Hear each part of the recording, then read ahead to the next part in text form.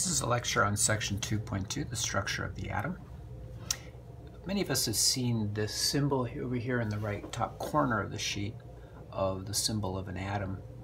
We have the particles in the center with these other particles in some sort of circular orbit.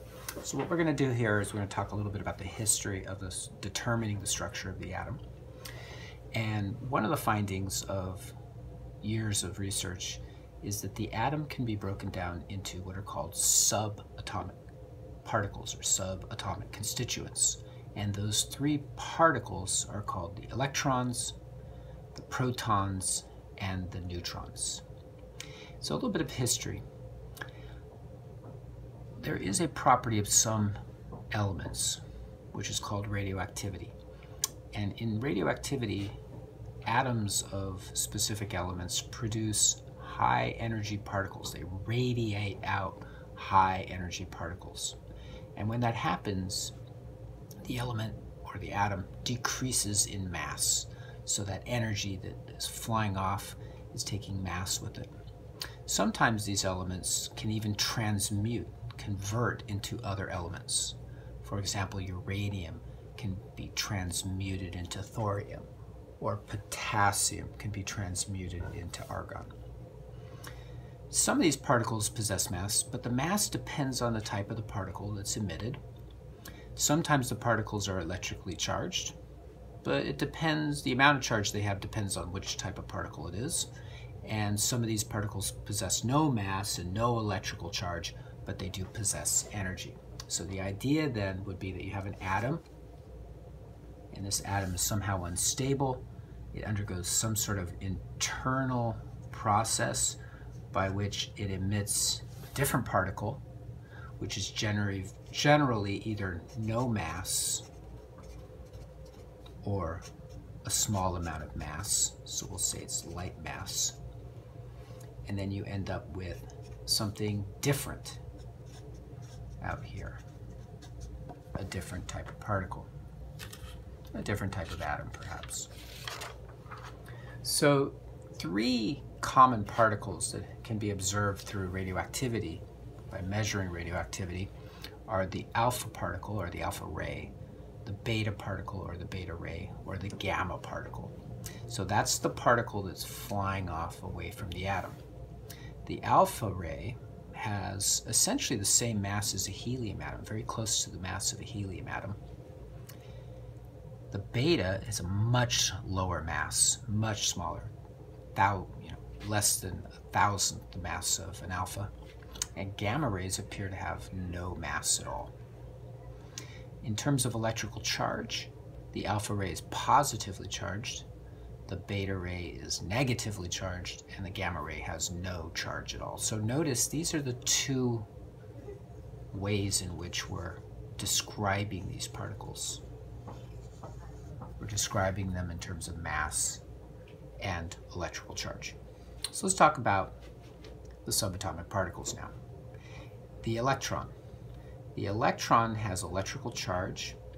The standard unit in the SI system of electrical charge is called the coulomb, and the abbreviation for coulomb is a C, capital C. So J.J. Thomson used what's called a cathode ray tube to determine the charge to mass ratio of the electron. Very famous calculation. So in a cathode ray tube, what you can do is you can evacuate a glass tube, or you can put a little bit of a gas in there, like nitrogen gas that's not chemically reactive. And then you have a metal electrode here called a cathode, and you apply a voltage to that cathode. So there's a voltage across these two pieces of metal here.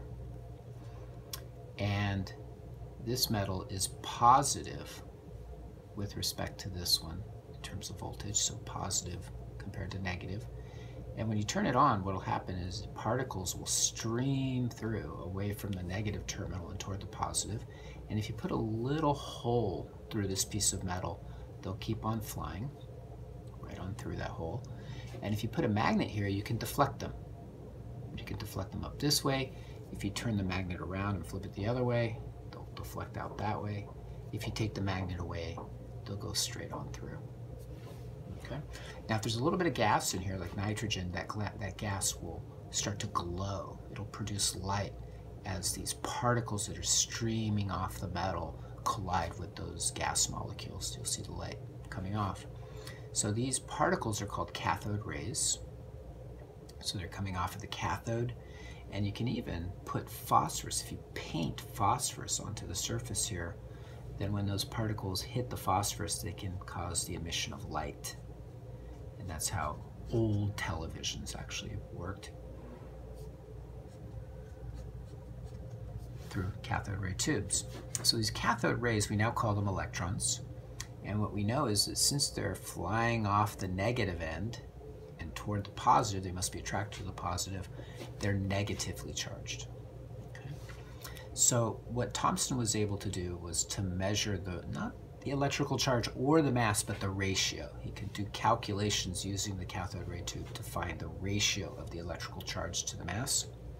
And the number that he came out with was 1.76 times 10 to the 11th coulombs per kilogram. So for every kilogram of mass of this particle, it had this amount of charge, 1.76 times 10 to the 11th coulombs. Well, that's useful, but not too useful unless you can figure out one of these two quantities. Because if you could find the mass and you know the ratio, you could find the charge. Or if you knew the charge and the ratio, you could find the mass. But you need to know one of these to find the other. So our Robert Millikan used an experiment called the famous oil drop experiment. Here's a picture of the apparatus. This is a viewing scope, so you're actually looking through here using a microscope to look at little oil droplets moving back and forth based on the voltage that's applied in this liquid. It's a very tedious and difficult experiment to perform, but based on that experiment, Millikan's group was able to determine the electrical charge of the electron. And again, the electron is negatively charged, and that charge came out to negative 1.602 times 10 to the minus 19 coulomb, so very, very small. But if you have the electrical charge and you have the ratio from Thomson's experiment, you can now calculate the mass.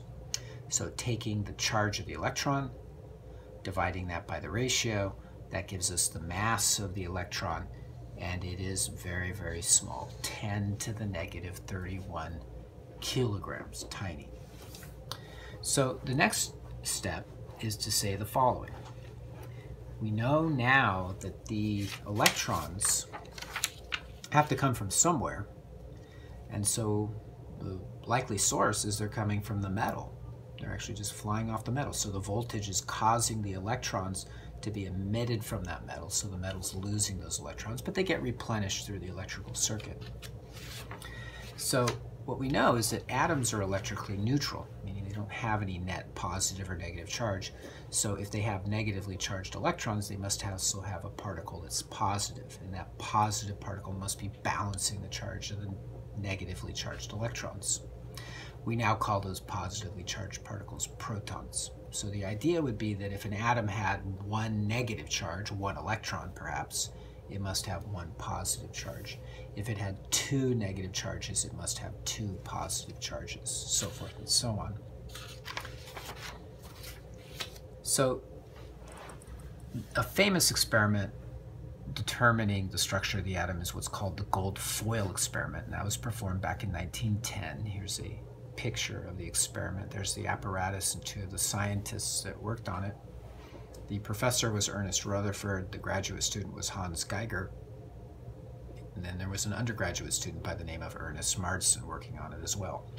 So the idea behind the gold foil experiment is that you take a source of what are called alpha particles. We talked about that in terms of radioactivity. So there are elements that produce alpha particles, which are positively charged and have mass. And you allow those particles to fly through and contact a very, very thin foil of gold. Gold can be made extremely thin, only hundreds of atoms thick. And Measure then what happens to those alpha particles as it passes through the thin foil.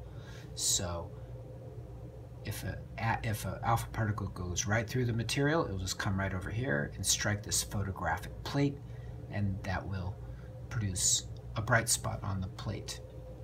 If the particle is deflected by some small angle, it'll come over here, and that would, when you develop the photo photographic plate, you'll see a bright spot there. Or if it was deflected a large angle, or an extremely large angle, it then might collide over here and give you a bright spot over there. So we know that the atom has negatively charged electrons. We know it has a positive charge. The question is, where is that positive charge? So here are two what we might call competing theories or competing models. So here's one idea that J.J. Thomson had, which is now called the plum pudding model. And the idea is that you have these negatively charged electrons, and they're embedded in a sphere of positive charge. So there's this sort of diffuse positive charge, like a cloud, and then the electrons are just popped in there. It's called plum pudding because if you make bread and you put little raisins in it, you can think of the positive charges being the bread and the negative charges being the little raisins. Here's another model. This is Rutherford, Ernest Rutherford's model, which we might call the nuclear model. And here the idea is that in the center of the atom, you have the positively charged, positive charge, but those are particles. They're particles of positive charge. So instead of a diffuse cloud of positive charge, actually have particles called, which we now call protons. And then the electrons, the negatively charged particles, perhaps are in orbit outside of those protons. Okay. Now, the experimental results that you might expect if you had this model is that if an alpha ray, which is a positively charged particle, came in contact with an atom that had this structure, it would interact with this positive charge, be repelled by it, because like charges repel one another. So you might expect it to kind of deflect out something like this. So it might come off at some small angle. But every time that it went through an atom, it should be deflected by that atom. On the other hand, if you have this structure over here, the Rutherford model, then when you have a positive charge, what you would expect is that most of the time it would miss it. So just go in straight lines. So if the trajectory of this alpha particle was like this, it would just kind of go straight line, not even be affected by this atom. But every once in a while, the path of the alpha might be that it's right in line with that, what we now call a nucleus. And you'd have a lot of positive charge in a really small area, small volume, and it would probably just bounce off something like that. And so the experiment shows that this is actually what happens, that most of the particles of alpha rays went right on through. So they just went straight through the gold as if there were no atoms there. But on occasion, one of them would be deflected at a very large angle, even back like this. That's not what you would expect with the plum pudding model. That's what you would expect if you had a nuclear model. So what we now know is that this model is incorrect. This one is much closer to what's actually happening in terms of the structure of the atom. So that gives us an atom in which we have electrons, which are negatively charged outside the nucleus, and protons, which are positively charged in a very small area. Only maybe 1 in 10,000 actually undergoes this deflection, indicating that the nucleus is very, very small. So the probability of actually striking a nucleus is small, but when it happens, the alpha particle is very strongly deflected at an extreme angle. So today we have some numbers. The mass of the proton is 1.67262 times 10 to the negative 27 kilograms, which is very small, but compare it to the electron, it's much larger. The electron's in the 10 to the negative 31. So if we do a mass ratio, the mass of the proton to the mass of the electron, we find that the ratio is well over 1,000. In fact, it's almost 2,000, 1,836. So that tells us the proton is much heavier than an electron. But interestingly, we now know their charges are equal and opposite. 1.602 times 10 to the negative 19 coulombs. The difference is the proton is positively charged and the electron is negatively charged. The third subatomic particle is the neutron, and this was discovered and described later, 1932. Chadwick took a thin sheet of beryllium metal, bombarded it with alpha particles, which again are positively charged, and it turned out a nuclear reaction would occur where a third type of particle got emitted, which we now call the neutron. The particle is electrically neutral, but has a mass pretty close to that of a neutron of a uh, proton. It's 1.67493, so it's a little bit greater than the proton, but again, much larger than the electron. And again, it is electrically neutral. So the position of the neutron is right next to that of the proton in the nucleus of the atom. So here we have now what we might call a synthesis. This is what we have in terms of structure. The neutrons and protons are in a small region of space called the nucleus and the electrons are further out from the nucleus. The electrons are negatively charged. This gives us an interesting, reasonable model to describe the structure of the atom. The electrons are negatively charged, so they're attracted to the nucleus because the protons are positively charged. Most of the mass is in the nucleus because the protons and neutrons are much heavier than the electrons. So we have these light particles called electrons in orbits around the nucleus why the protons and neutrons are attracted to each other. That's called the strong nuclear force. That's not something we'll discuss much in this course. What we'll look at next, however, is atomic number, mass number, and isotopes.